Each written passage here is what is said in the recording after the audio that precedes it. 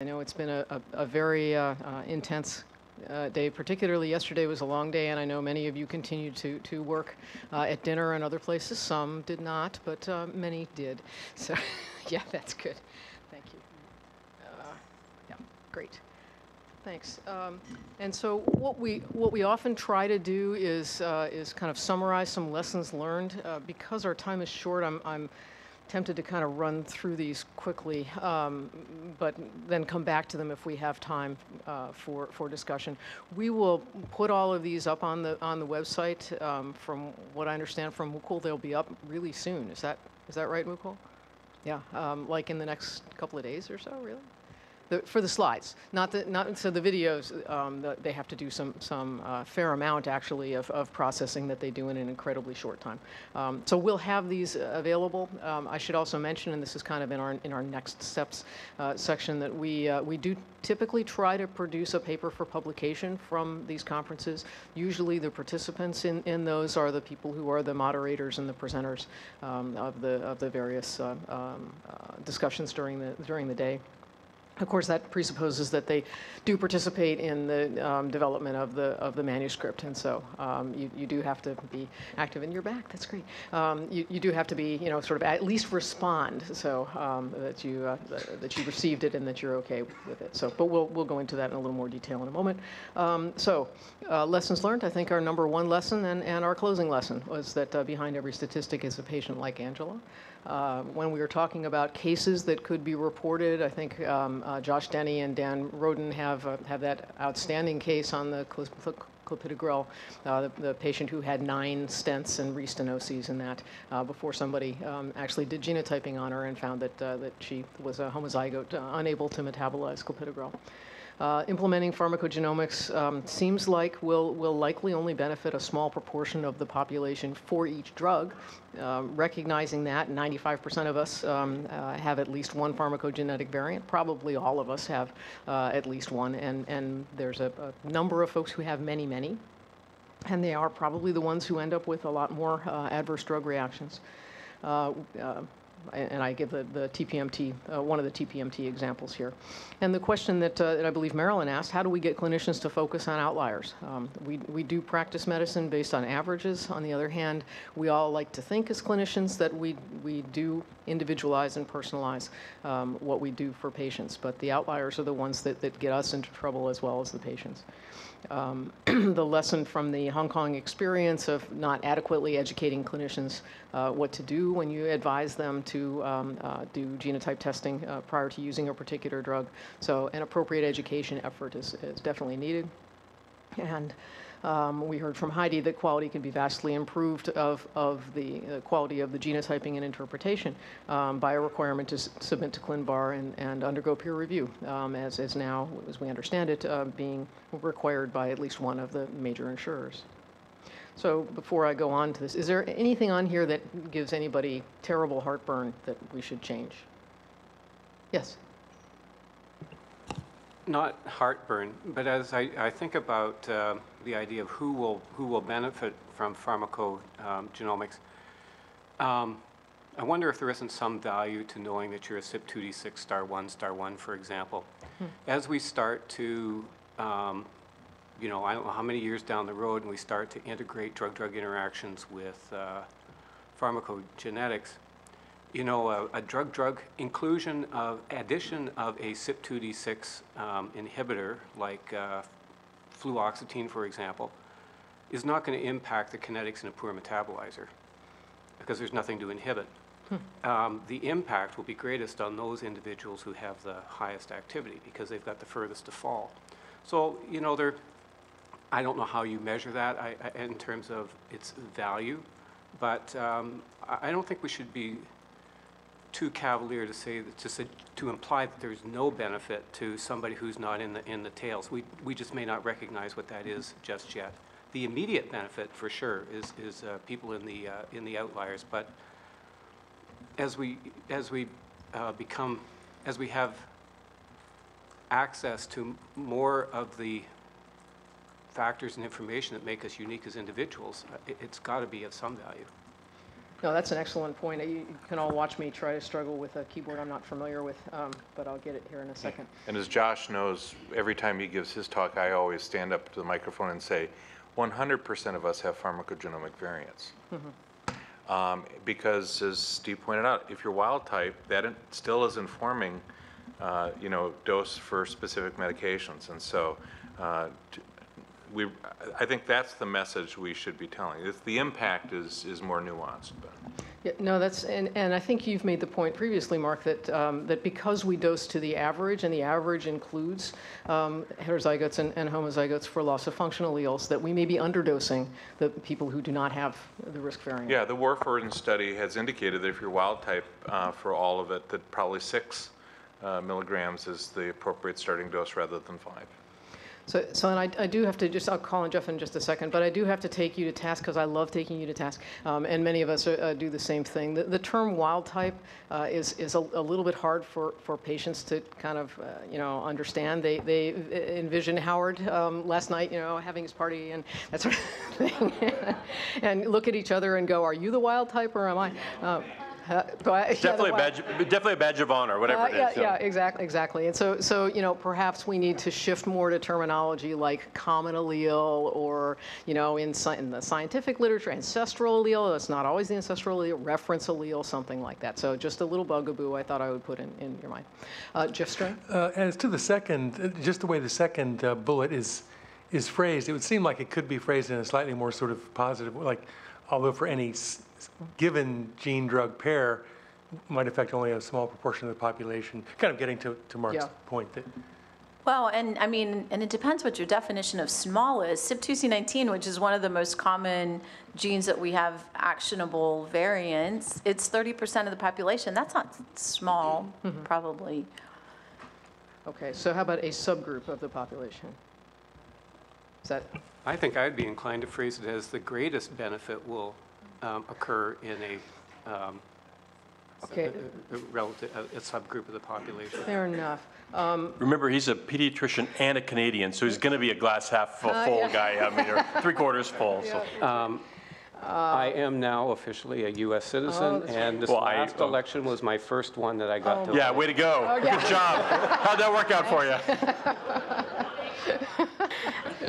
But it is worth noting that, like, I remember when there was a story in one of the Globe articles saying that patient got 23andMe testing and had the warfarin gene, so he made sure his mother wasn't dosed with that drug, right? So the, the potential for complete misunderstanding and actually avoiding drugs in people who don't have the risk alleles just because of total misunderstanding, I think is something that we also have to think about and, and, you know, implementation of genomics to say you don't have that allele, you're good to go, can benefit the rest of the population too, just something to think about. Yeah, excellent. Yes. while we're kind of nitpicking on words, uh, can we pick on the word population? And as since that's my livelihood, um, we're talking mainly right now about a European population, and we need to really think about the impact and the health disparity and inequity that face uh, minority populations in even the ability to implement. So we, we wrote this one for you, Minoli, um, but, but also um, um, for all of us, because we, we clearly are not addressing that, you know, people outside the European ancestry population, on whom almost all the pharmacogenetic and pharmacodynamic studies have been done. So you're absolutely right. Um, so since I see that we are drifting a bit into wordsmithing, um, what, I, what I would suggest is maybe we, we go past the lessons learned. We, we can come back to them if we have time, because we really want to, you know, capture your energy on research opportunities. Uh, that's, you wh- one of the, the major objectives of this meeting is, is what direction should we go in. Um, so uh, we heard the suggestion to analyze early on from Rex to analyze uh, genotype data from past trials. I might um, sort of pin Dan down a, a little um, and, and just ask the, the CAST trial, the cardiac arrhythmia suppression trial, was you know one of the, the major trials showing harm and withdrawal of drugs. And the question has always been asked: Is that because of some genetic variant, and could that ever be tested in CAST? So it can't be tested because the DNA samples, try as we might, are not around. Um, a- A more interesting question is, could the result of CAST have been predicted? Uh, uh, And I, I- I hate to wait, waste people waste half an hour of people's time explaining why that might or might not be true. Um, But the answer is no, you, you couldn't do that in CAST right now. Uh, And, and the extent to which the genetics play a role in mediating the adverse, that adverse drug effect is, uh, I think there probably is a genetic story. It's going to be impossible to prove, and I can, again, that's another half-hour talk. But, but Rex's point, I think, was, was, you know, is it possible for us to, to get access to some, Rex, I won't make your point for you, you can, you can make it, um, in, in terms of uh, ongoing trials or, or completed trials. This is something we might want to explore, is that fair? Yeah, okay. Um, We also heard about the, the value of patient-driven contribution of, of data and samples, so trying to, to encourage patients to, to contribute such data.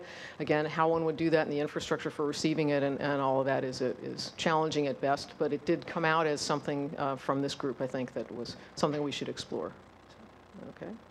Um, We've heard about harnessing existing quality assurance or quality improvement um, projects for a couple of years now at, at this meeting. Um, We haven't thought of a good way of doing it uh, and would welcome those of you who are doing QI projects as to whether there's a way to, to put a registry on top of that or, or some other kind of a, approach. And, and Dick, you know, maybe in your project or Steve in, in yours, is there, is there any way for us to, to try and capture some of, of that experience that, that can be generalized to, to other centers? I mean, obviously you'll be publishing your, your results. Do you want to comment, Dick or Steve? Maybe not.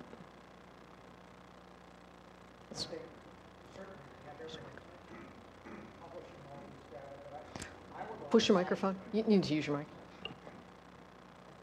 I think what we all, what might come out of this, Teri, is that the more we know about what other people are doing, the more we can collaborate. I've seen that happen in the corridors here, and I assume that's part of what, what you're thinking about. Yes. So we've been approached already by several people who said, uh, are there ways we can work together? And I would hope that, that there'll be more of that. Fabulous. So Teri, just, just to be clear, for you uh, after the clopidogrel project, that was a QI project. We did not have research-informed consent, so it was all done under a QI mechanism. So I think that's a, you know, that's a great example of where you can do a clinical implementation under clinical consent, um, and with appropriate approvals, then go in and follow up. Yeah, and, and it's fabulous that those are happening. I think what we're, what we're asking is how do we, you know, is there a way to bring those together, to, to harness them is, a- is the word that we used.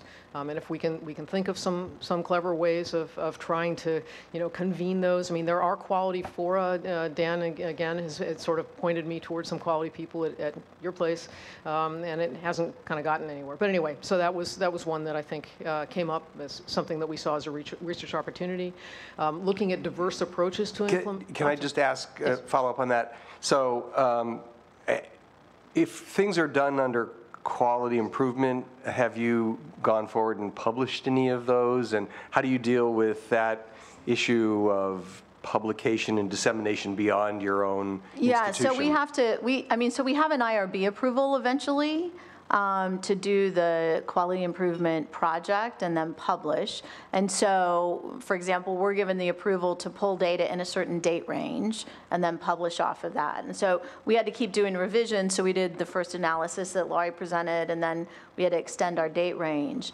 But I think, I mean, I think one of the issues, maybe Teri, to additionally capture is, I think a lot of people don't appreciate that mechanism.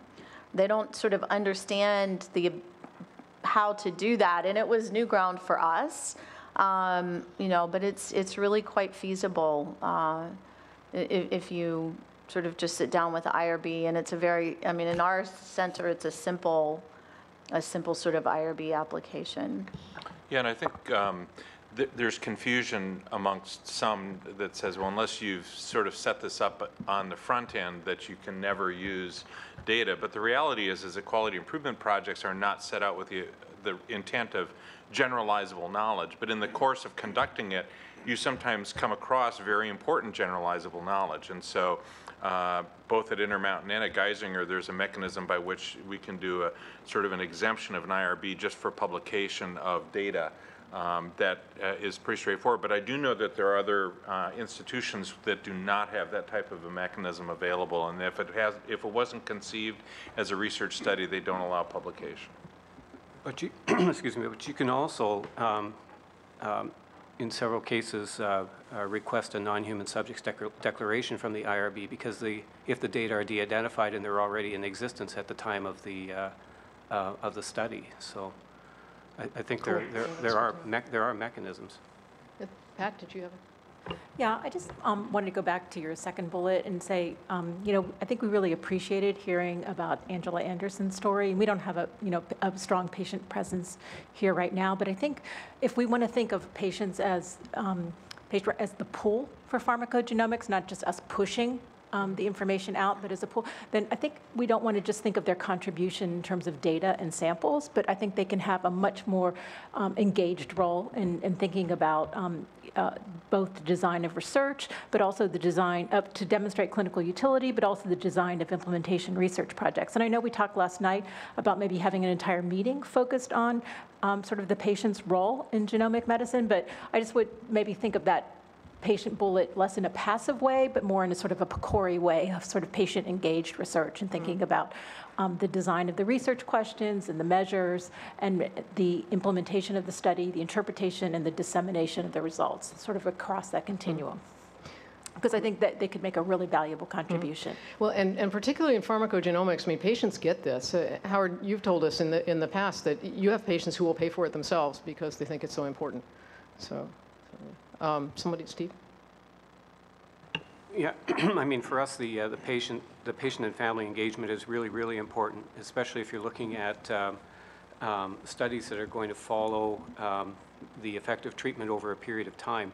You don't want to limit your data collection points to um, um, visits um, that may be a month or, or three months apart or something like that. And so taking advantage of um, apps on, on cell phones uh, is a way of, uh, for example, with an ADHD study, it's a way of collecting information from the teacher, um, the parent, and the, uh, and the child themselves about how they felt they performed at school. Um, and, uh, uh, you know, we've got the nutrition people. We'll have uh, people take a picture of their meal from which calorie counts can be calculated. There, there are different ways to engage um, um, uh, patients and families to get rich phenotype data in a real time and, and like data rich uh, manner. Uh, but often the, the, the, we're not the people who, who know what those are. It's, it's engaging uh, the, uh, whoever it is, nutritionists, nurses, whoever it is that sees the patients on a, uh, a daily basis. Okay. Um, We also heard we should be studying diverse approaches to, to implementation, uh, including uh, not only hospital or specialized center-based uh, pharmacists and clinicians, but also community pharmacists. Uh, One of the things we, we discussed briefly was, you know, should, should there be some uh, meeting of community pharmacists? And Mary, you have a, a colleague who's considering, you know, galvanizing that community, which is a, a very powerful one. Um, Should, you know, should we look at using a pharmacogenetic card like a, like a credit card versus a QR code on your phone versus some, some other kind of approach? Uh, We heard from Steve the importance of, of children versus, not children, versus adults, but differences in children and, and adults, and obviously um, from Minoli and, and Melissa about the differences in, in non-European ancestry populations. Uh, So all of those would be, and they, probably it's not only the ancestry, uh, but cultural differences, uh, challenges in underserved populations. We heard from Lynn Dressler about the, the barriers to, to even, a, you know, what some of us might consider to be a, a low-cost test at $200, $250. Um, It depends on your point of view, decidedly. We also heard about requiring, or at least encouraging, use of standardized outcomes across multiple studies so that data can be pooled. We are trying to do this to some degree in, uh, in NHGRI's uh, genomic medicine programs, at least come up with some standard outcomes. I know there are patient-driven outcomes, a set um, from PCORI and, and others. Uh, so that seemed to be, yes?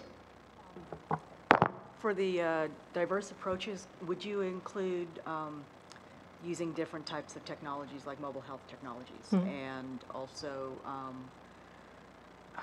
now I just lost it, but it's not just engaging those particular groups, but how do you engage those groups? Right, Right, yes. Yeah. Yeah, yeah. It's the, more the how than the, than the what. Mhm, Good. And then uh, uh, repeatedly, we heard we need other measures of benefit than cost. Uh, Cost is, is one driver, but it's obviously not the only driver. Anything on here? Yes, Krista? Yeah, the only thing for the community pharmacist that I would add is, I think that it's really a community-based practitioner, whether that's a pharmacist in a community pharmacy, it's a, an outpatient um, clinic, it's a, uh, you know, physician who is engaging. I think there's a number of diverse groups that are really more community-based than in a community pharmacy specifically. I know we see a lot of the clinic-based pharmacists growing in this area to have a, a clinic-type service, uh, consult-type service in an outpatient setting too. Great. Yeah, I want to leave pharmacist on there because I think it's the only, it's the only place where we mention you, and it's, and you're, you're an important part of this, uh, of this puzzle, so. And I don't know if it's uh, on other slides, but I think on their last bullet, I would uh, think that we want to expand to patient-reported outcome measures um, as a, as a, as one of the measures. Uh, So, and the standardized outcomes or the measures of benefit? Well, I, I guess both. Okay. Um, and patient, well, Yeah, I would just say require use of standardized outcomes, including patient-reported outcomes, Okay. par- parenthetically. thank you. I had writer's block in front of uh, 30 people, including patient-reported. Now I have typer's block. Okay, great. Uh, We do have a few more of these, so, so we'll go on. Um, Developing methods for studying outliers, I think we, we heard from that side of the table um, about uh, how, do, how do we get not only people to pay attention to the outliers, but how, how does one go about studying them, identifying them, uh, finding them, uh, treating them appropriately? Um, creating a system for pulling together rare uh, adverse drug reactions, uh, pa- patients who have suffered rare adverse drug reactions uh, nationwide. Um, we did hear some discussion of the FDA's um, uh, system for doing that, which, which uh, the FDA will, will tell you they recognize is, is imperfect. Um, are there better ways for, for trying to identify these, uh, particularly in, in these days of fancy electronic medical records and other things? Uh, Jeff was uh, uh, encouraging us to consider creating registries of, of pharmacogenomic patients. We hear about exomed patients and genomed patients, so, so PGX patients. Um, and, and Jeff, I was going to, sorry, I should have warned you in, in advance, but I know you're up to the task. Um, could you elaborate a little bit on, on what data would be collected and what uses those could be put to? So uh, I think this would be, um, first of all, in the, uh, in the, in the usual care environment that uh, uh, sites like the ones around the table, but also a number of the, like the affiliated sites that, that uh, Julie and her team have put together for the pharmacogenetics um, sort of clinical research network, um, are already deploying pharmacogenetic testing as part of their care systems, either as research programs or as clinical care projects. So the idea would be to um, capture um, that vast number of individuals, their um, and, and their clinical outcomes that are, that occur in the context of usual care, uh, often through the electronic medical record. Um, and I think this is really taking uh, something from the playbook of uh, particularly the cardiology large-scale registries that have been both used to um, develop quality metrics by which performance is based, as well as to provide evidence on, on which uh, reimbursement as well as FDA policy have eventually come out. And, and, but this is a, a really long-term uh, sort of play over the next 10 years, not something that I think we're going to reap the benefits of um, in, the, in the next year or two, but probably over the next five to 10 years. Mark? Yeah, I think the other opportunity, although it's a little difficult to imagine how it could potentially work, is to build on uh, a large-scale program like Sentinel, um, wh- whose intent is to try and determine if there are adverse events occurring with uh, medications in the, in, in the clinical uh, practice. And if you could somehow tie pharmacogenomic information into something that looked like Sentinel, um, you could, you, you, you could then have a very large um, uh, group of patients using a standardized methodology that wouldn't need to be invented from scratch. Um, conceptually, it's fairly attractive, but uh, the operationalization of that would be uh, uh, a nightmare, I'm sure. One potential might be the CDRN network of PCORI. Good idea. Uh, yes, Sandy? Yeah, just as a quick note on that, there is an effort to tie Sentinel to the PMI. Oh, there is an effort to tie Sentinel to the PMI, which may start to provide some of that. I mean, wouldn't, wouldn't that include everything that's been done in eMERGE? Um, Sorry, when it term, well, everybody who's, who's had pharmacogenomic testing. Yeah, but that- isn't that tens of thousands of patients? No, it was, It's, it was it's 9,000, um, and they're represented in For this. P, for PGRN-Seq? For PGRN-Seq. But GWASs have been Yeah. done on how many thousands? On a, on a smaller panel. Yeah, and, and the, the ability, I think the, the strength of the registries, Jeff, correct me if I'm wrong, is, is getting updated information on what happens to them long-term. That's, Right, they're continually uh, updated, and, um, and that's the, that is the strength of it, is it's the long-term longitudinal data on outcomes. Great. Okay. Cool. Um, There was a a suggestion that um, we shouldn't hold pharmacogenomics to, to different standards from other kinds of clinical care uh, that has been implemented without clinical trials, and perhaps uh, trying to compare on a more systematic way uh, pharmacogenetic testing uh, to uh, implementations to other routinely accepted, now routinely accepted testing or new testing that gets added into, into clinical care. So why do those get accepted and this, um, this has more of a problem? I, I might comment just, in, just parenthetically, we have seen that there, there is exceptionalism in, in genetics and we all decry it, but actually it can be strangely motivating. Um, the, the director of the National Institutes of Health um, tells the story of, of knowing that he needed to lose weight and knowing that he needed to lose weight and not actually doing it until he looked at his uh, genotyping scan and found that he had several risk alleles for type 2 diabetes and that stimulated him to, to lose 20 to 25 pounds. So, um, and there, you know, there are other examples, I think, of, uh, of uh, genotype-driven trials that, uh, that have had much stronger results among patients because somehow this information to them is more compelling. So, uh, providing users with data on which gene-drug pairs aren't actionable. So this was the, the no's as well as the yeses. Uh, really important uh, topic. And, and Mary and Teri, if you're still here, um, you do have this level C in CPIC, right? But, but they don't get writ up, written up or We published? or we do? but actually, you know, the way that we prioritize which gene-drug pairs we write guidelines for is based on um, many things, including user feedback. And so, um, based on what we've heard at this meeting, we'll, we'll probably plan to um, survey CPIC members and see if there's interest in moving up some widely used drugs for widely tested genes, which might include some in the ADHD or, or psychiatric um, area. Uh, and, and maybe we will move that up and write one of those guidelines. It's something that Teri and I and the CPIC group need to discuss. It'll, it'll move something else out of the queue, but um, maybe there's bigger priority on doing a couple of no's.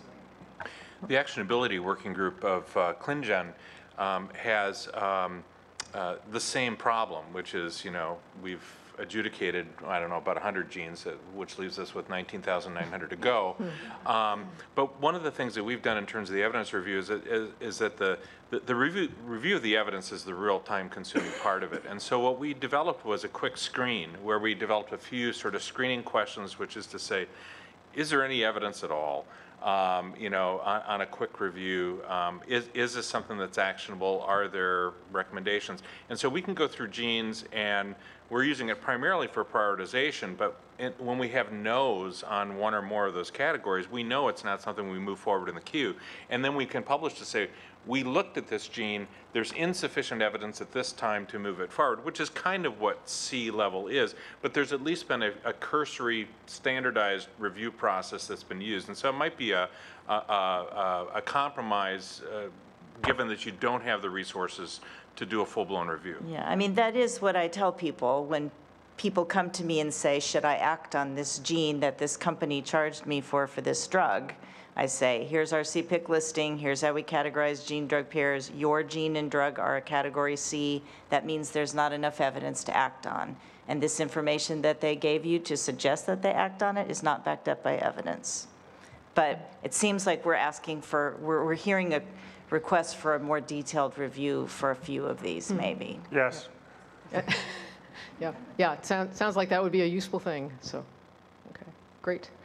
Um, There was also a suggestion to link national data on, on drug use. Um, I, I mentioned the IMS, IMS, Hel- IMS Health. How many are familiar with IMS Health? Just out of curiosity. Yeah, so, so it's a, a large nation, nationwide systematic survey um, of clinicians and hospitals, I believe. John, you would know it, uh, you might know it better than I. Uh, But at any rate, uh, very, very useful in terms, that's where you hear that, you know, uh, omeprazole is the, you know, eighth or X most, most commonly prescribed drug in the US, that, that sort of thing. But anyway, um, taking national databases on drug use or prescribing uh, and linking that with allele frequency to, to make some estimates of, of um, you know, the numbers of people at risk um, would, would sort of avoid our having to do this in studies like uh, the eMERGE PGX or in, in various um, uh, uh, EMR systems or healthcare systems. But then having made that prediction, then those healthcare systems can go in and look and see, well, did they really have uh, adverse responses or not? Just a note about IMS, they, um, they bought or merged with Quintiles uh, a year or two ago. So it's not just a data warehouse, but they're actually capturing data from clinical trials, some of which have genomic information. Oh, wow, didn't realize that. Thanks. Okay. So anything here that people have angst over? And again, you get another shot at these, but just while we have you all in one room, it's nice to get some input. I also wanted to mention that IMS is also starting to collect uh, CPT coding information. So um, when 2D6 or 2C19 or things like that that have tier one codes uh, are being billed for, they're starting to collect that information as Oh, well. cool. Cool, great, thanks. Okay. Um, So, oh, sorry. Bef- Before we move on to that, um, can we maybe talk real quickly about a conversation that John really started in our panel um, and continued over dinner and then drinks after dinner? Um, So. Wild type. So, I- and I- it's not exactly a research opportunity, um, but I I think as we talked more to John, I think we all got a better understanding of what he was talking about. Um, And so, and so I think, you know, he's really pleading for two things, and I'll sort of lay it out in my words, and then you can fill in the gaps. Um, And and that is that um, we have CPIC guidelines that tell you what to do if you have the genotype. He's requesting, and it doesn't have to be CPIC, but that somebody says you should test these these drugs. And so within ASCPT and CPT, um, there's an effort to develop guidelines for best practices. Um, and so I think there's an opportunity for people in this group or a, a larger group to really sit down and um, develop the set of drugs that we would say, you know, you must test, you know, and, and whether it would be two or three tiers. Um, and I think um, Micheline's an editor in CPT and, and sort of feels like this is this is a great opportunity. The second. Um, again, where the payers are having challenges, and I think the thing is, we talked more to John that was really refreshing, is we've had payers at multiple, I think there's been a payer meeting here, Ignite has had meet, uh, payers at multiple meetings, and I think we've just never gotten the clarity of input um, from them that we've, we've constantly been seeking. So the second thing is clarity on um, sort of minimum testing within the pharmacogenetics. So, so he was talking about quality, and we're like, yeah, but the, you know, we know that the genotyping is of high fidelity, and that's not really what he's talking about. Um, and so I think as we talk through, for example, 2D6 versus 2C19, he's like, we have no idea that the, the, those two are different in complexity. So what is the minimum that should be tested? And so I'll just sort of throw out, you know, if you're doing CYP2D6 and you're only testing star 4, we would say in a best practice, that doesn't meet acceptable minimal standards, right? So if you are not testing copy number variation in CYP2D6, that doesn't meet a minimum standard. So, you know, if we can convene a group that would do those two things and then write a paper, what we're hearing, at least for one major payer, that would make a huge difference in ability to understand what's reasonable versus not reasonable. So uh, I'll let you take it from there. And, and just one other note is that within that paper, we also use that IMS data and that we actually say these are the drugs that this, these genotypes would affect, and this is, you know, the amount of people that are on those particular drugs. So again, I, I, um, I think this is a topic my colleagues at United Healthcare, the payer, uh, would be, I think it's a very interesting point of discussion. I mean, to me, if we can figure that piece out, it hits that second point which I was making yesterday around how do we improve the quality in this space? And if we don't know what's getting paid for at a level of precision, then by definition, how do we know quality?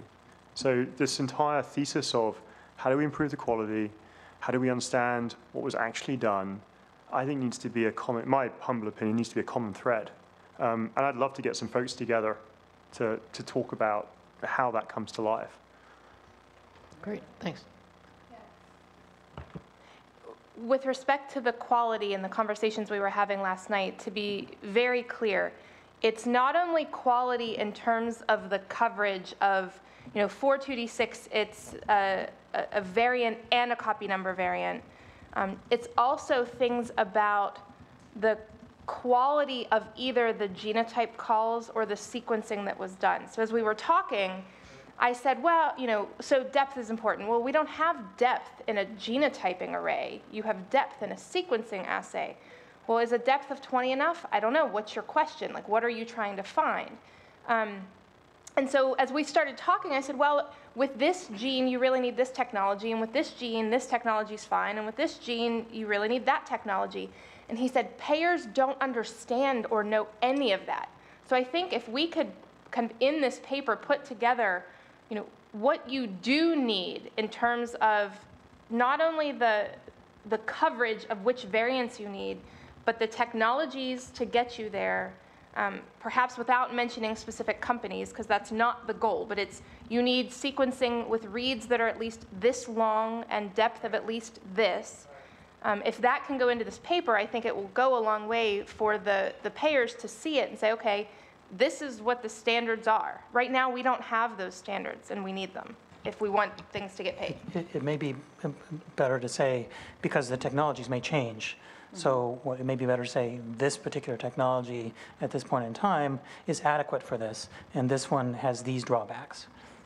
And actually, the conversation went to where um, if we could come up with what that list looks like and put that in front of some of the technology companies, if they knew that all they would need to do is create a machine that does X, Y, and Z, and that would put them ahead in the market. They might develop such a machine. Uh, Until the standards change six months later. Just to remind everyone, we put a lot of effort into this in the um, pharmacogene nomenclature group, and uh, there was no way. It's, it's just, it's an incredibly complex undertaking. So good luck. You're right, that's not CPIC's job. You can definitely refer to CPIC guidelines to see which va- variants are functional and what their allele frequency is at any given time. But the data always change. Yep. Well, and that's. But I think, I think, you know, the suggestion was, what's the minimum? Right? What, what's the minimum for, and, and I think we could go around the room and pick our favorite gene and probably say, if you don't at least have this, you shouldn't bother. Um, And, and those, those could be updated, just, just like other things are updated. Yeah, so, I think that would be great. great. Okay. Um, So you'll see, uh, we, we actually separated out things that were not necessarily research opportunities, but more consensus building exercises. Um, We at, at NHGRI love consensus building exercises because um, we get lots of free effort and people come in and, and do things for us um, that, that doesn't necessarily need to, need to cost a huge amount, but can have a tremendous impact on the field. So, um, so something to think about. We'll get to those in a moment. Um, So I, I moved that from the research opportunities into, into the consensus building part. But then we had this, oh, sorry, are you pointing at somebody, Deji? Oh, okay. Um, So we had as a fourth objective, and now I'm a little embarrassed that we, we left it on. Um, We had debated within the Genomic Medicine Working Group, um, which remember is all the people at that end of the table, so, so, you know, you can uh, pick on them as well as uh, anyone, anyone else you'd like to for some of these suggestions. But, but we thought, well, gee, maybe we should bring a, a design of a study or a couple of designs to this group and put it in front of you and, and, you know, have you bat it around. Um, Decided against that because we, we wanted to have a little more free-flowing dialogue. Um, But given that, we've heard a lot of discussion about strategies for large-scale uh, evaluation and implementation. Um, And we had quite a debate on it uh, um, earlier this morning, so we don't want to go back through all of that. But I, th- I think we'd like to try to capture some of the key points that were made. Um, Among them had to do with the ethical questions of randomizing people to no genotyping. Um, And then the point made that, well, you know, given that it's only the 1% that's, that's actually getting genotyping at all, it may be more acceptable in places that wouldn't have any access to genotyping unless they were part of a, uh, of a clinical trial or, or some kind of a study. Um, Yes, Howard? I was trying to wait till you were done for that. I, I, I think it also, by leaving it in there, it would also give some framework for a, a a potential RFA or, or, or something that would allow, some of the issues that were raised would be issues that the applicants would have to have a solution for, um, including what sites they use and, you know, can they randomize and all that. Uh, And so, you know, using the tried and, well, I don't know, tried and true, but the, the existing, you know, peer review process that, that we already have at NIH, um, some of these things would be, would be filtered in that context. And so I, I would, I'm glad that you've kept it in as objective four, uh, because then it'll, uh, you know, help capture that part, so as, we as we go forward. Because I think at some point in time, it would be good to have that kind of a system, you know, this process versus that process type of study, as opposed to this gene versus that gene. Hmm. But, you know, that could be argued, and has been. Oh, yeah. And will be. Yeah, okay. Um, We also need to understand better when trials are needed. So when is the observational data, you know, something that one can go forward with? And, and you know, when is it, is it something that should be tested? Uh, And as I said, we debated the strategy. It was uh, suggested yesterday that um, one design strategy would be a pragmatic trial to randomize people to genotype-guided uh, treatment versus standard clinical care. And, and yet we heard this morning that, gee, for many of the, the gene drug pairs that are widely accepted, that uh, is of questionable ethics, at least to those in, in this room. Um, So, you know, one, one thing that could be done would be to include a secondary outcome, since, since there is that outliers problem. uh, Could you have as a secondary outcome of your trial, what happens to the people who are risk allele carriers? Um, And um, um, I think there was general consensus that identifying people who you know are not going to be able to metabolize a drug and then going ahead and randomizing them anyway is, is probably uh, difficult to, to justify. So would people largely agree with what's up here? I know y'all are starting to fade, um, so. All right, uh, then, then moving on to opportunities for building and, and disseminating consensus. Uh, I think we, you know, have, have heard repeatedly we need some standardized terminology for genetic results and, and for phenotype designations. And, and Mary's group and others have gone a long way in this, but uh, she corrected my, my uh, it's solved to it's partly solved. Um, and, uh, and we probably need some more, more efforts in this area. Okay. Um, Heidi had suggested that uh, this, this question of sort of ever-changing panels, that with people, you know, add another variant or another gene to a panel and suddenly it's a brand-new panel um, and needs a brand-new cost and a new CPT code, could be addressed by the approach that's been done in, in some of the monogenic diseases uh, where you basically have a, a minimum set of, of genes and variants that need to be tested for, and if a lab wants to add on others, that's fine as long as the cost doesn't change. Carol? Yeah, I- I just want to go back to the first point, um, which is there's a, there's a difference between standards development and actual adoption. So maybe that's the partly solved part. So there are a lot of, there are a lot of cases where there are well-defined, well-accepted standards, but they simply aren't adopted, especially as it relates to nomenclature. So when it's partly solved, was the, was it that the standards still needed development or that the implementation and adoption of the standards still needed development or both? Both, right. But um, as opposed to a lot of standards development where they occur in a vacuum, we're engaged with the organizations that have the ability to actually promulgate the standards into clinical care. And so as we solve the nomenclature problem, we have a, a direct pathway into getting the appropriate codes in Loinc and SNOMED and that, that will ultimately are generally used. And so I think we have a pathway that's laid out, and so it's more just completing the work as opposed to having to develop that. Yes. Just in the, in the general um, idea, one, one of the ways to compel people to do something is to get the USPSTF, United States Preventative Services Task Force, on board. And that's an uphill battle. Um, But when we're talking about things that are prevention-related, uh, in- including adverse events, you may think about that. They have a, they have, lay out their uh, criteria um, uh, ahead of time, so you can even develop your studies toward those criteria. They have a survey period every year, which I think is either just closed or just about to close this year, where you can say, you know, we think there's enough evidence in this area that you need to review this area. Um, Anybody can participate in that survey, uh, and Uh, And then um, they will probably need some extra expertise in this area. Um, So even if you're not on the push end or you're the developing end, if you can help them with expertise, um, that's one way to do it. And as you may know, USPSTF has some uh, teeth in terms of the current situation with the Affordable Care Act requiring um, grades A and B USPSTF preventative services to be um, covered. Excellent point, thanks, Bob. Okay, um, next we heard about um, uh, inability to code uh, for, uh, or uh, inability to bill with the co- the codes we have, 200 CPT codes for 65,000 odd uh, tests being a major barrier, and the the radical proposal from John that uh, that perhaps uh, some new kind of coding approach is is needed. Um, Was a suggestion. John, you want to comment on that? Yes, let me just push on that a little bit more. It's, to me, it's not just around coding for billing. It's, that, I mean, that's part of it. It's also coding for quality. So the payer needs to understand what have they just paid for.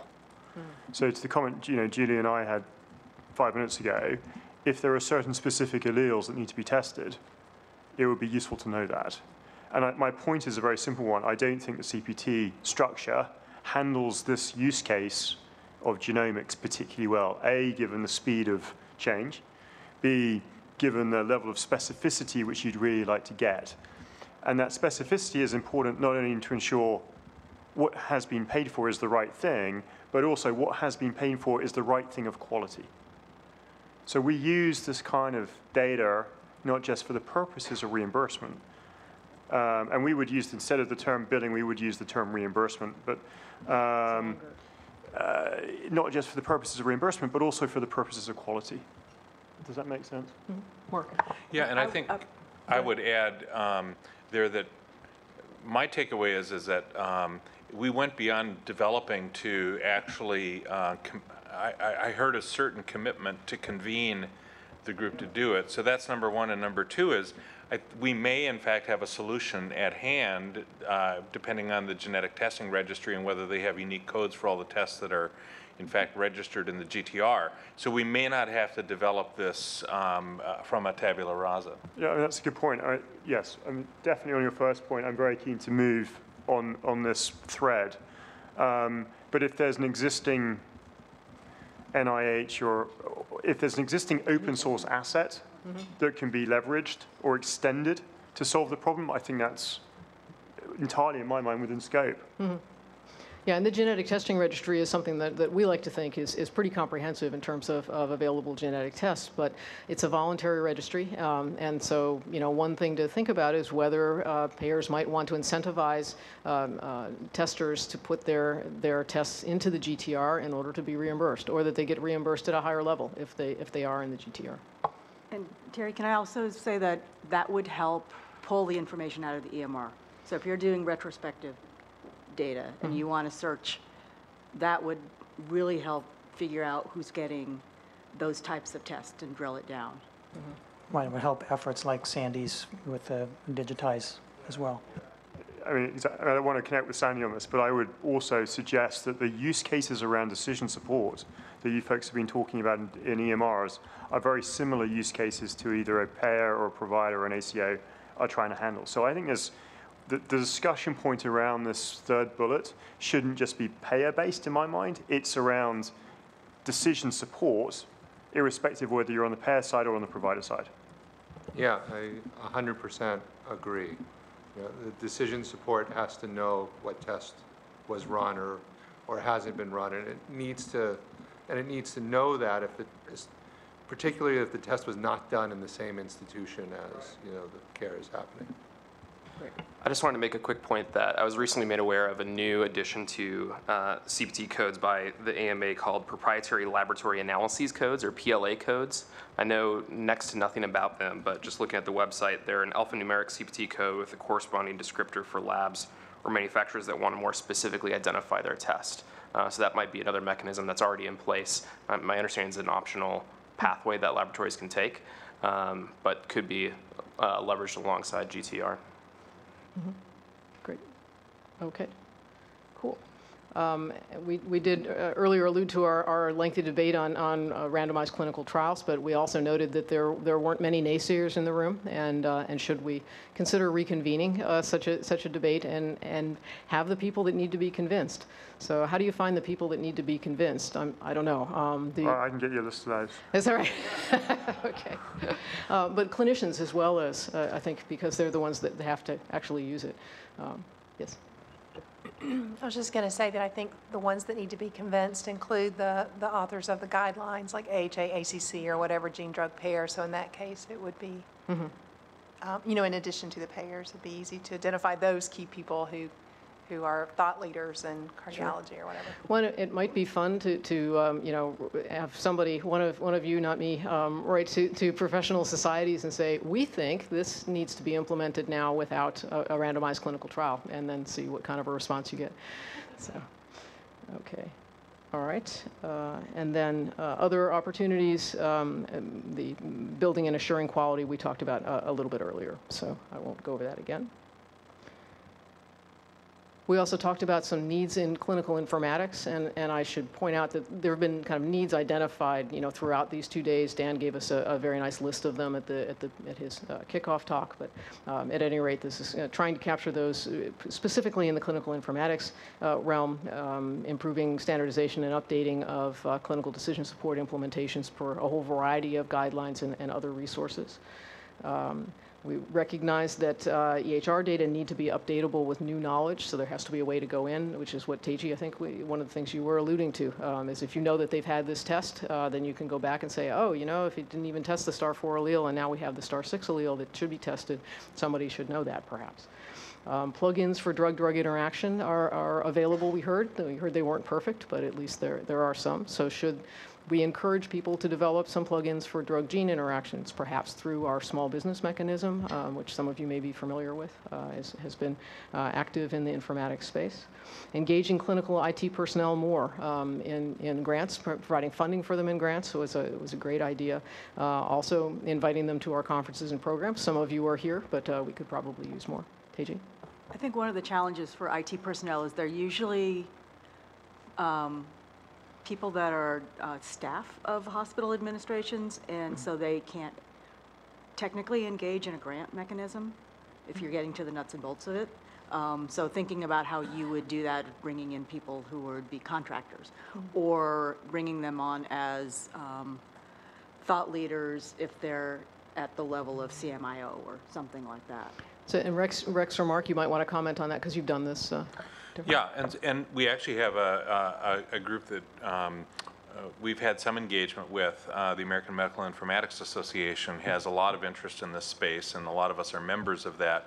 And so I think that, and, and a lot of the folks that are there have operational roles, but also many times have clinical research interests as well.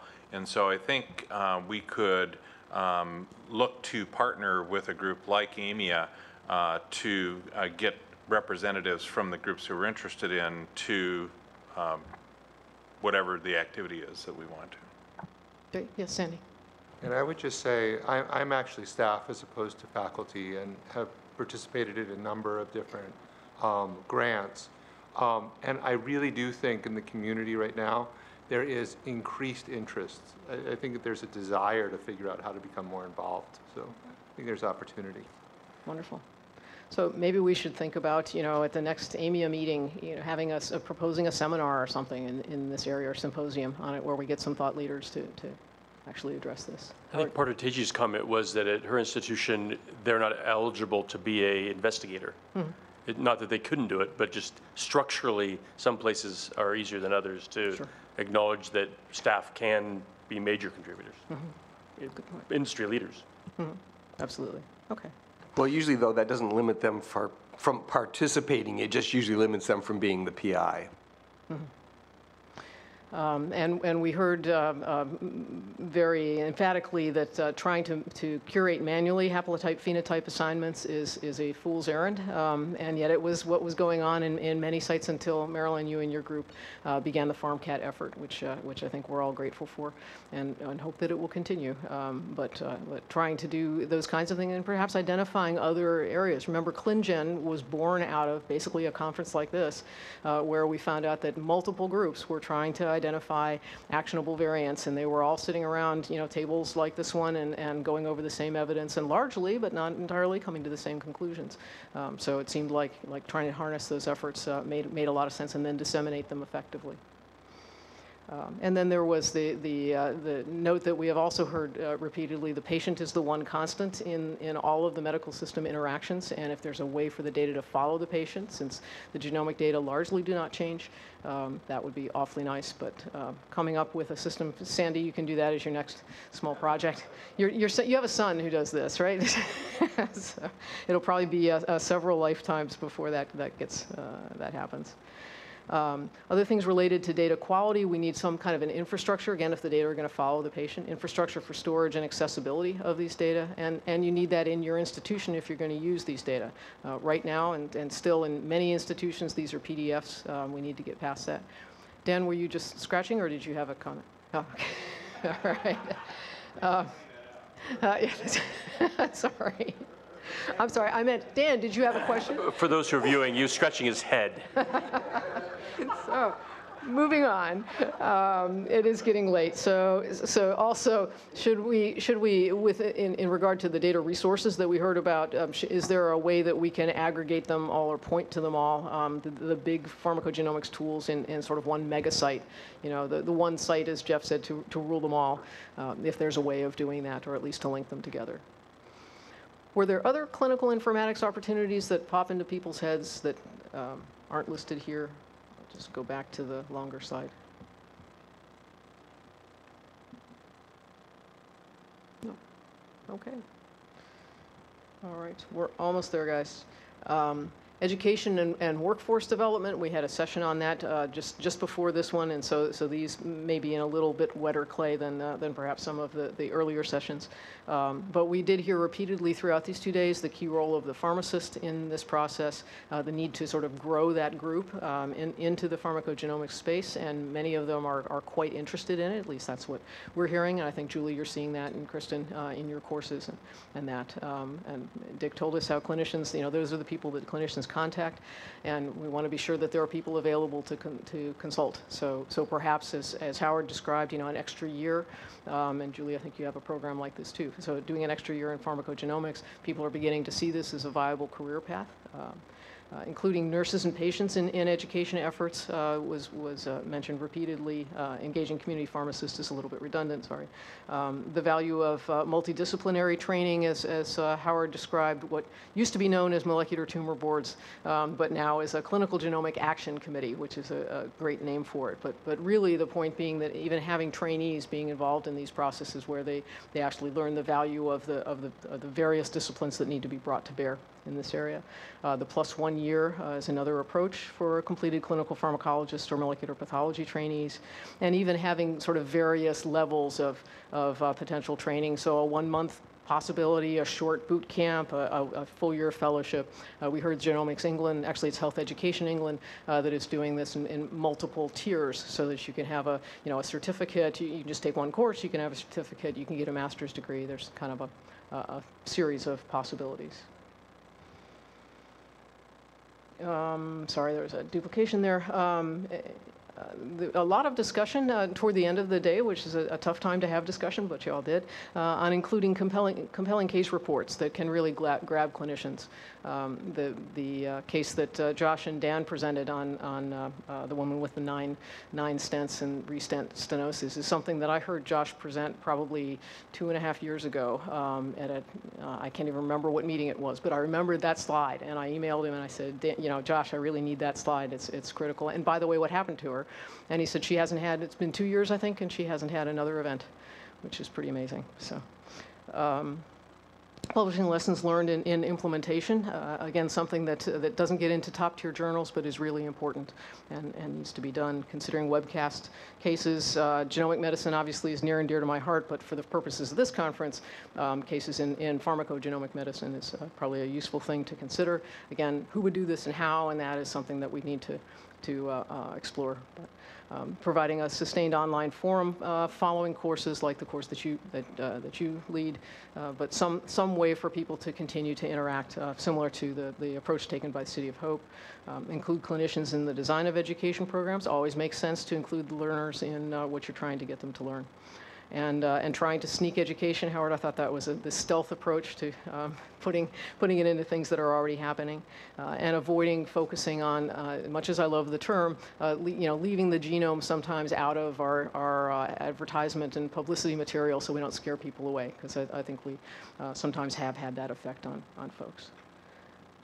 Anybody have any problems with what's up here? Yes, Mark. No problems, but um, there, there is a, a issue that straddles education and, and clinical informatics, and, and we touched on it but didn't state it explicitly, and that's point of care just-in-time education. So when a physician has to make a clinical decision now, how can we get the information that they need to make that decision into their hands?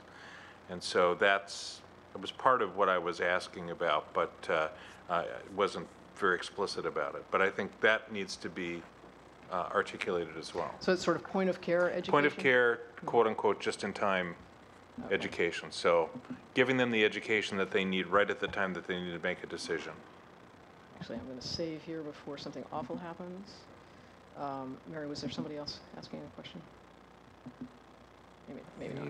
You know, just one additional comment on that. Doing a project like that that involves the, the EHR would also, oh, would, would also have the effect of, um, of really driving standards into use. I think that type of thing Hmm. can really help with standards adoption. The point of care education would? If the point of care education is delivered contextually through the EHR, then you need to get, in order for that to work, you need to receive the data in an appropriately Oh, oh, oh. standardized way. Okay. And so now all of a sudden, everyone has an incentive to send it to you that way. Mhm, mhm. Makes sense. Okay. Yes. And I think one of the things we've learned that I don't think I articulated well in, in focusing on implement- implementation is really focusing on what is it that our target audience needs to know. So you have the incorporating clinicians within the educational design process, but I think it's also thinking about what it is we're actually asking them to do. So we want them to make a, you know, whatever a medical change based on genomic information and making sure that our educational programs are focused on that end um, versus, um, I think it would, versus giving them everything in the world they need to know. Well, and I, I remember hearing um, um, one geneticist bemoaning the, the status of, you know, the state of, of uh, medical students and, and junior residents who didn't even know what an intron was. How could they possibly practice, you know, gene- it's like, why do you need to know that, you know? Um, so, so let's, let's try and focus on what's important. Because you don't want to sequence that first. And, and they wouldn't be doing that, you know, that's the, that's the thing, so. Okay, other, other points on uh, education? Um, One thing that Bob alluded to is bringing in other types of educators into designing the education. So um, doing an out-of-the-box, I hate that, but um, finding a different way to educate people. Yeah, we don't have geneticists doing surgery. Right. Right, so we, we, we need educators to be part, I mean, professional PhD educators to be part of the teams that are designing the effective methods. So clinicians would tell you they are educators, doctor means teacher, but um, some of us are better at it than others. I think though, Yeah, yeah, and I think, I- I think in kidding. part, in part it's about the tech, the the techniques and, and, and what's working, working currently and what the evidence is behind from an educational standpoint. And then also, you mentioned adult learners. So how do you teach an adult Hmm. stuff in different ways? Because everyone learns differently. So Mhm. sometimes we have to step out and And I think ISCC is very good in facilitating that. The meeting that I mentioned that really focused on short snippets of kind of educational best practices in genomics from uh, various associations, there was so much within that content that was really just good educational design and adult learning. Um, And so I think, I think CME does a, a really good job from an association standpoint of, of really considering that in the design, and there's, there were some great, great just techniques. Yeah, and I'm not saying that physicians can't, un- can't learn how to do that, um, but if you're going to look at every single specialty and every single specialty society and, and say, do the physicians who rotate through their CME committees all know how to do that well, I would say probably not. Absolutely. Okay. Great. I wanted to leave a, a little bit of time for, for a last question that was, that was posed to us by John, and, and I, I have said to him personally, and, and will say uh, more broadly, it has been incredibly valuable having your voice at the table. And if you guys know of other, because, you know, John can't come to Minneapolis, I can't come from Minneapolis for every one of our conferences, but if you all know of people like him, and many thanks to Dick for, for suggesting we include him, um, we would very much like to have this voice at the table because I think we've seen how valuable it is. Um, so he asked us the question. Um, so let's see, what is the sort of one, three, and five year? John, you should ask your question, uh, but this is how I captured it. I think you captured it well. What is the one, three, and five-year projection for PGX implementation? Also reframe the smartest people in America around this table right now. Where, what do you folks see happening one year out, three years out, five years out? Where, how do you see the technology and the science evolving? So in other words, if you were in software development, you'd say, paint me a roadmap. Help me understand. Now, that's a little bit of gazing into a, into a ball, but it's a useful exercise because it starts to think about how this could meaningfully impact the system and subsequently folks, whether on the payer side or the provider side or in life sciences, don't get surprised by the technologies. They can start talking about them at a much earlier stage in their, in their thinking as they do their own internal business plans. Mark? So I'd break that out into, you know, a couple of different things that you'd want to project over at that timeline. One is availability of the data. Um, and I think we could anticipate that there's going to be some type of an acceleration of the availability of the data over that time. You know, the second question is then is the use of the data, uh, you know, in evidence-based ways, which will presumably lag behind to some significant degree. Um, and then um, the, uh, the thing that probably won't be accomplished, um, at least other than perhaps to build the systems, would be, uh, you know, capturing, capturing the outcomes from the implementation. So I, I would see those, those things as being um, sort of the foundational elements. And those things are going to be different. So for, for my organization, I'm going to have available data uh, in a very short period of time. So under a one-year time frame, I'm going to have PGX data on 90,000 patients that, assuming we can figure out some of the issues of how to do the validation, we'll be able to use. Um, So then the question is, is how do we actually implement that, uh, which is probably going to be more in the three-year time frame. And my hope would be at the same time that we're looking at the implementation, we're also defining the outcomes and building the mechanisms to capture those outcomes. So at five years, I would have, you know, one to two years of outcomes data related to the implementation. So that's how I would look at this for my specific organization. So, so I wonder, that, that is one way of, of looking at it. I, I wonder if another is to say, you know, what do we think is, is going to be happening in clinical care five years Right. from now? Um, And, and, you know, we, we can all have our, our views of, of that. Uh, John originally asked us for what we think will happen in 10 years, and, and I've been saying, as have several others, that in 10 years, everybody will have gen- whole genome sequence in their medical record. We've been saying that for about five years now, um, but, but even so. Um, but, but yeah, five years from now, do, do we think that, that there's going to be um, uh, pharmacogenetic sequencing is going to be, sorry, uh, pharmacogenetic testing, at least for major gene drug pairs, et cetera, is going to be standard of care? I kind of think it probably will be in five years. Um, But I could be just a cockeyed optimist, Bob. Well, I think one, one trend that, that we, has been alluded to that we need to be aware of is, um, uh, is patients getting their own testing done um, outside. And what is the workflow when a patient comes to the primary care provider with a list of 20 variants, maybe 10 of which are actionable? Um, What, what do they do with that information? So, Um, so just to push on that, so one, one thesis here is to break it down, like, like Mark said, look at it from a technology lens, right? I think that's important. I think you also want to break it down from a consumer lens. You know, is, is, is there going to be a new uh, PGX company doing consumer-based testing? I don't know. That's, um, the other lens would be to look at it by the disease state. And again, I'm, you folks will know this much better than I do. I'm not, I'm certainly not a, a, um, technically deep in this domain, but i- is it going to be more impactful in certain clinical conditions than in other clinical conditions? That's a useful thing to know. And I think visibility to that, maybe outside of this community, is limited. So if you can help in that journey, in painting this picture, I, I think that would be really useful. You, you get, you had three lenses, John, and I only got, I only got two of them. What, do you remember? So I had a technology one, which is, to me, is Mark's piece. I mean- that Mark's talking more than technology, so maybe I shouldn't call it Technology but technology and data. I think there's a consumer piece to this. Mm-hmm. Um, I think there's a, uh, there's a disease-specific lens.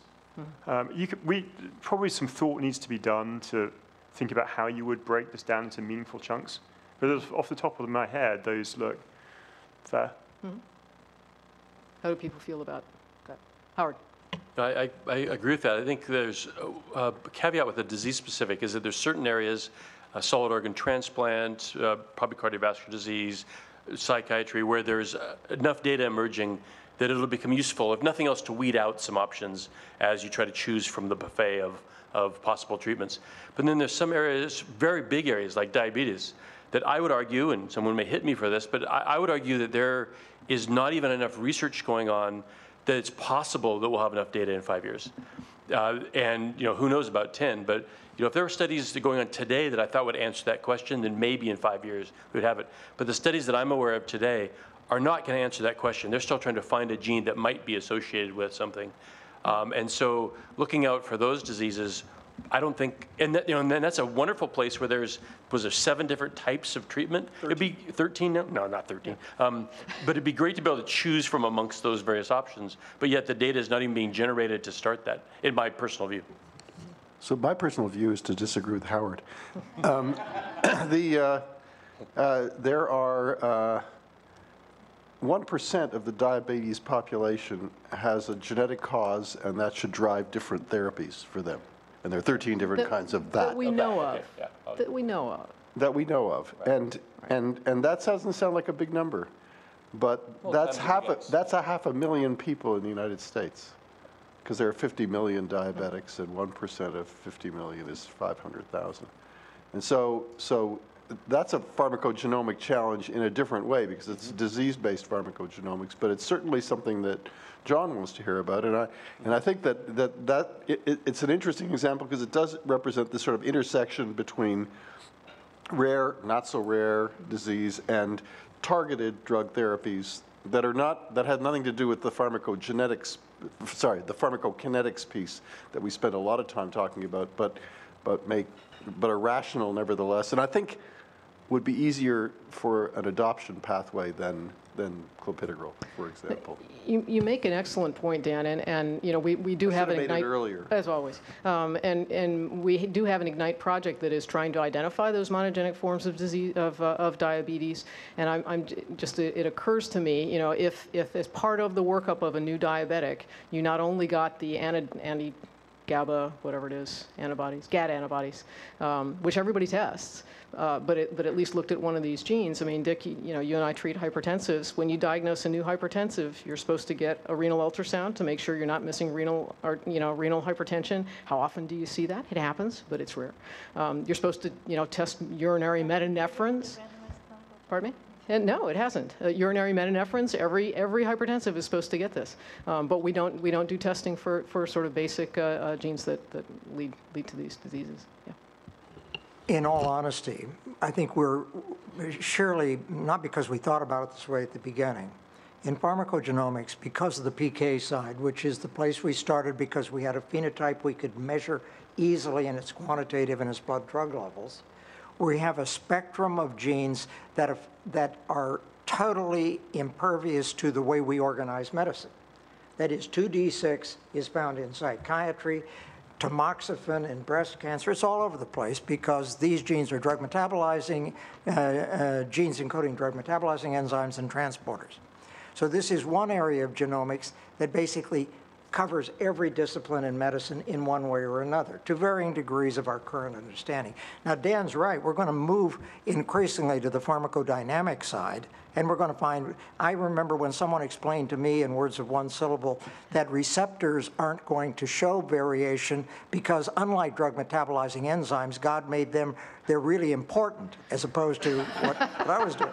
So, but they do. So And blocking those receptors will, will be fatal. uh, I I understand, Dan, but, but nevertheless, we're going to move increasingly to, to P- PD side. Frankly, though, what's going to happen, I think with, and what I've guessed that, that during my career I could say this, is that every patient in academic centers, you're going to have a panel of sequence-based data on the genes we currently have data on, and that's going to happen during a fairly brief time period, three to five years. I, I have absolutely no doubt that that's going to happen. And then it's really the infrastructure, building the infrastructure within the institution. The technology of how you do 2D6, which is complex, is not going to really be, and you guys will, will know who does that well. It is really hard, as the people around this table know better than anybody, to build the infrastructure with, if it's not going to be alerts, it won't be alerts, it'll be some way that'll be invisible to the doctor. That it, it'll be in the pharmacy someplace, and it'll be a hard stop on a prescription if you're going to, if it's TPMT, star 3A, star 3A, and then go back and ask for an alternative drug. So I think you're going to see this very quickly, which is why I made those provocative comments about clinical genomics for everyone everywhere because I really think that you're asking a good question, and I can't say how happy I am to have somebody who understands the mind of the payer and what they're concerned about and uh, seated at this table. So John's done us all a big favor, and, and I want to thank him too. But I think the timeline is going to be very rapid. And that's been driven by a lot of things out of the NIH. I wasn't just gratuitously saying that yesterday. Without eMERGE, without the PGR, and we, none of us would be having this. But the NIH doesn't have the resources to do the implementation. Not really. It takes a major investment. You went through that at St. Jude. We've gone through it at Mayo. So that, but we're going to see that academic medical centers uh, that want the U.S. News and World Report to rate them, even though the CEOs will say we never look at it right. Uh, they're going to all be doing this. So I think you're seeing, going to see this very quickly, and we need your help to do it right. Great. Thanks, Yes, Dick. Min- Just oh, one sorry, final John. point. Thanks, Dick, for that. I appreciate the, uh, appreciate the comments. Um, One, one final point. I wouldn't just say useful for payers. I actually think this is useful Oh, for everybody. Yeah, yeah, you're absolutely right. I would argue this is useful the- for the healthcare system. For the patients. Um, Yeah, exactly. And I, I, I genuinely believe this, yeah, exactly. It's useful for, Sorry, this is an inside joke because the, the PMI has, uh, has changed its name to the All of Us Research Program. And so whenever you talk about all of us, it's like, what are we talking about? But anyway, um, to model future needs not only for, for reimbursement, but for infrastructure, as we heard about, for education. No, I'm just playing. I'm playing. Uh, reim- I, reimbursement. I had one other intriguing question maybe, and I don't know if it directly affects payers or indirectly affects payers, but I could see it coming down the line as we talk about UPGX, as uh, Dick talked about carrying a card around, there's going to be a portability piece. Uh, Consumers, um, health systems are going to want to port this data, uh, genomic data that, as we all keep saying, only has to be done once, especially once we get to sequencing data. And I don't know where that plays into it, but I think it's uh, coming down the line. Let me, actually, I would, oh, sorry, I I was just going to say, I would keep the capital A and U in that as well, because I think if we're successful, we will actually um, enable all of us to implement. Good point. Okay. We- uh, Steve, and I should just say, we are, we are aiming to end at three, as, as promised, so, uh, but, go ahead. So I was just going to uh, extend what Dick was saying to even further to the uh, realm of totally off the wall.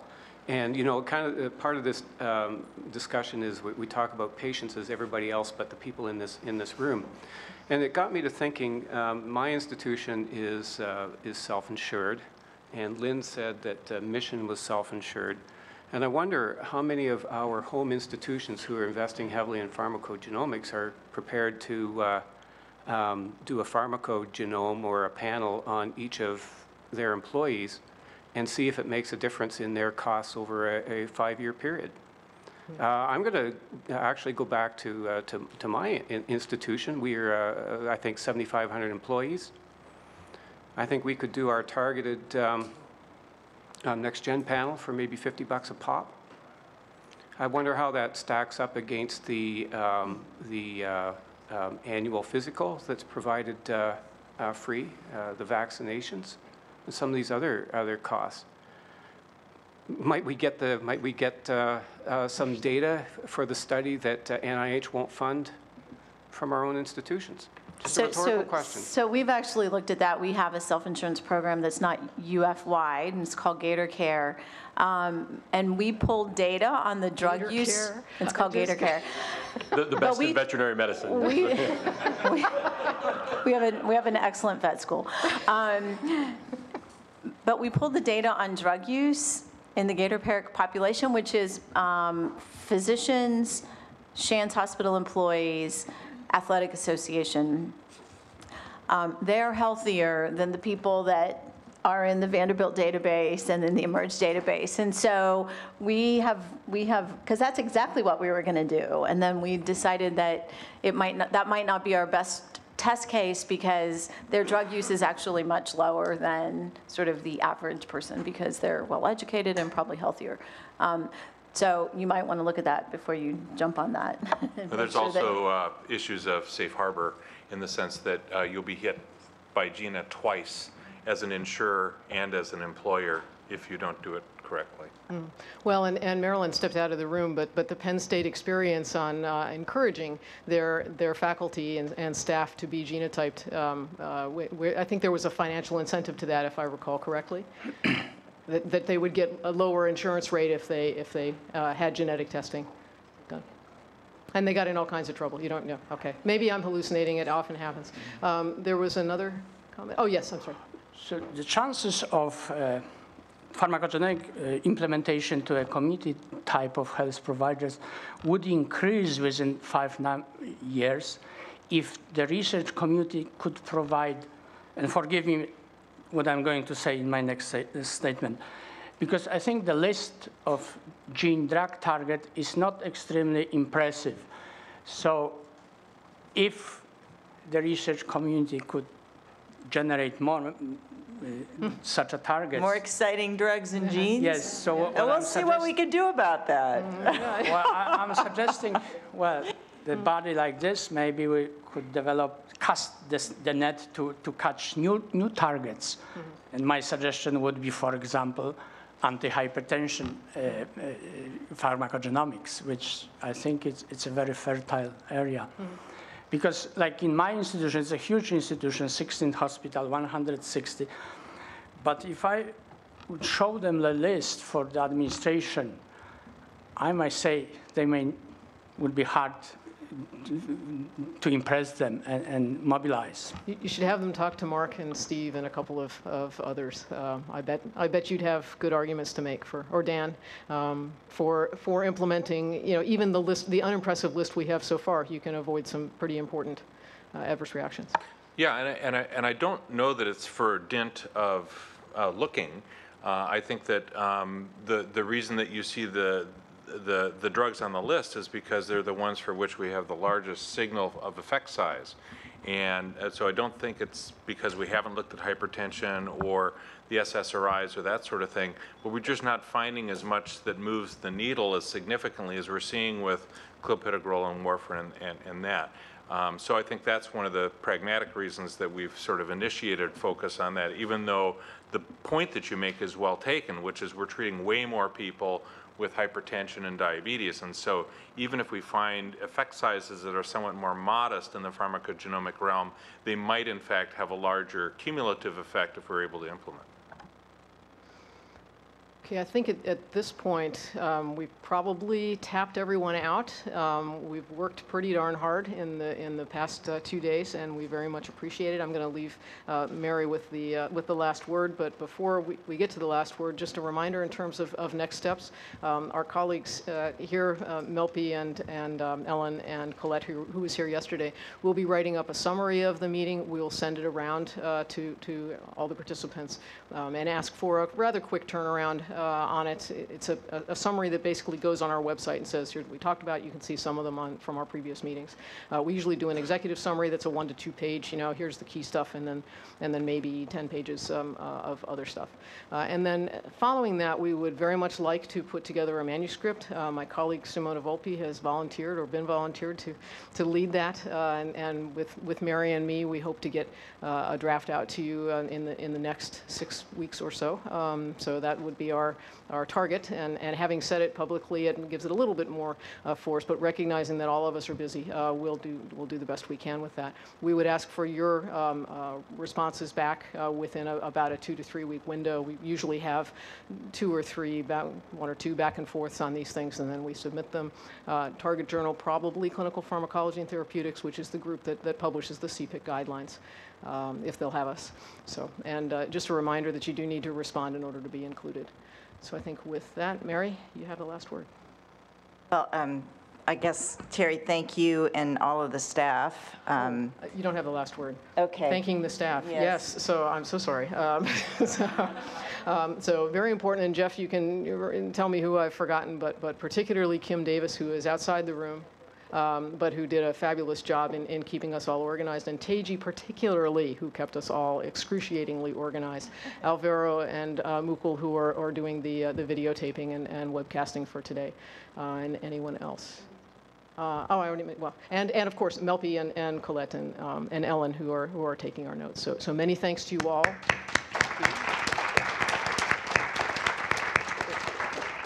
Now you. And also to thank um, the Gen- Genomic Medicine Working Group, who talked about this meeting for many, many months at our regular um, conference calls. Um, And to all of you for participating. I mean, when I look back over our objectives, I think we really did get a survey of the landscape of what's going on in pharmacogenomics um, in, in a way that uh, has been really helpful to me, bringing this many people together in this room who are really doing some of the cutting edge research. Um, we, we talked a lot about limitations. Um, if you remember, my very first slide was on the hype. Um, and I do think that the, that last question helps to illustrate, you know, there is a tremendous hype about pharmacogenomics. Um, there, there are horrible adverse drug reactions, and there's an unacceptably high percentage of patients who don't respond to medications the way that we would like them to. And we do have to keep in mind that pharmacogenomics is probably not going to solve the majority of those problems but it is going to solve a significant minority of the problems that we have. And the point is that we have the knowledge, we increasingly have the genotyping, we just need to put in place the processes to do the implementing.